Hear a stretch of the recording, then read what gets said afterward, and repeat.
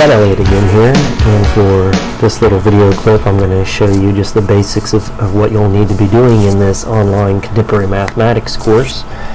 And so again, I will scroll down to course, click the link to enter it.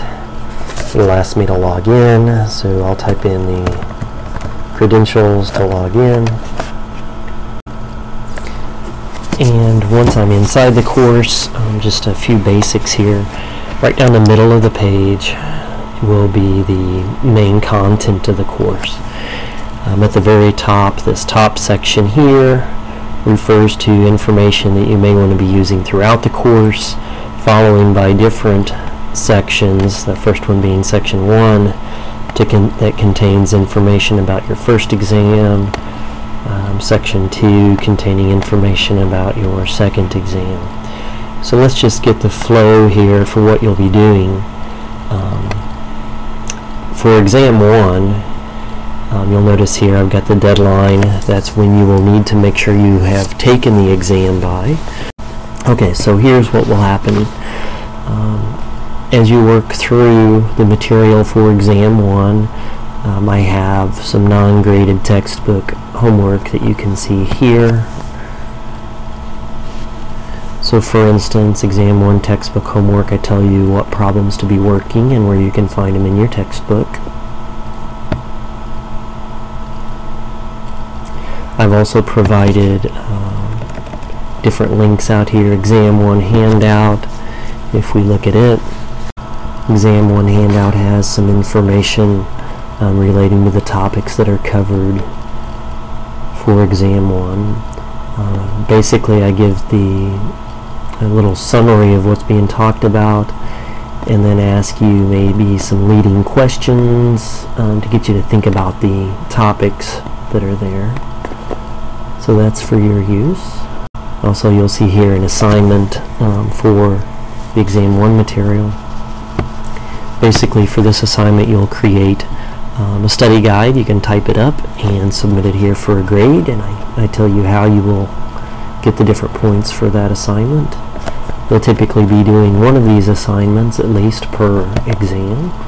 Looking a little further down the page here, um, you'll notice section 1.1 notes. I'll just click on it, and you'll find a PDF file that contains my handwritten notes um, for that particular topic.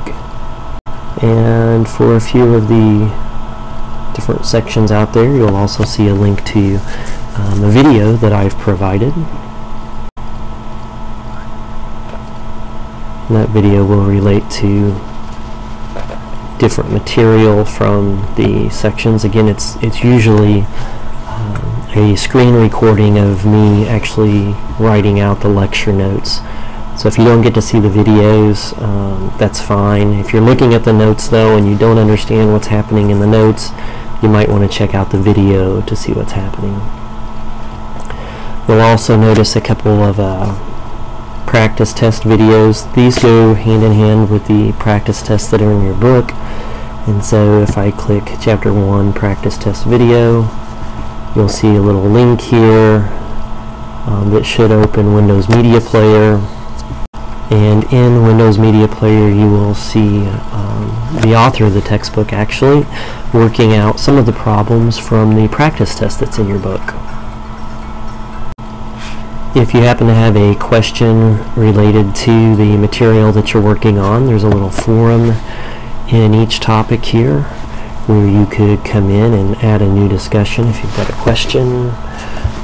You click the add a new discussion type in a subject and then you can type in the question. And it would help here too as you type in your questions um, maybe you could go ahead and explain what the problem is saying.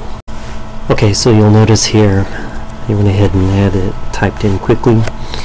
Um, if you compare this to number 13 in the book it's not exactly like what's written um, since we don't have a, a, nice easy little math tool to create some of the symbols, um, the best thing we can do is just use the appropriate math terminology. So on part A of number 13, it's asking is the set ABC a subset um, of A union B? Is that a true statement or not? Likewise for part B, they're saying the set ABC is an element of A union B. So we have to decide whether that's true or not. And so as a student, you might have a question about this. You could type it in, um, click the post to forum button, and that message would actually be posted out there.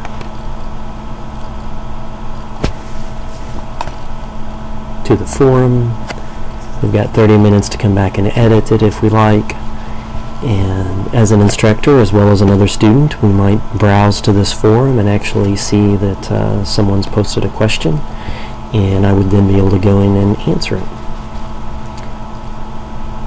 Another nifty little thing here is that uh, everyone is subscribed to this forum, which that what that means is that uh, after this 30-minute editing period has passed, um, everybody in the course will be sent an email with this post um, so the good thing about that is as I respond to a student with a question, you'll get an email about that. And so it's just similar to what would happen in a classroom setting where somebody else in the class class asks a question. Um, even though you didn't ask it, you would have the benefit of getting to hear uh, somebody else's question as well as my answer. So this is just another way to um, interact with me throughout the course website.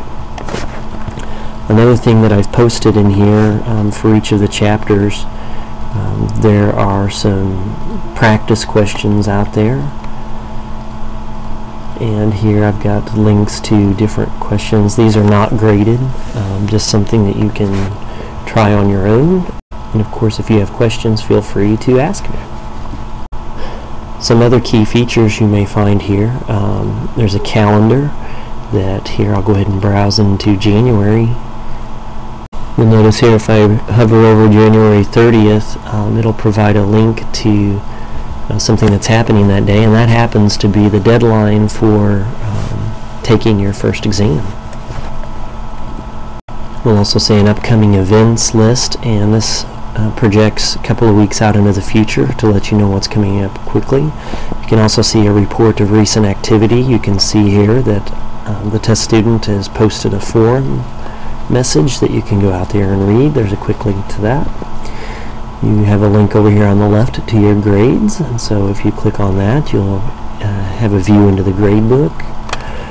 Um, you can also see the activities link here, um, way to see all the assignments for the course or all the uh, resources.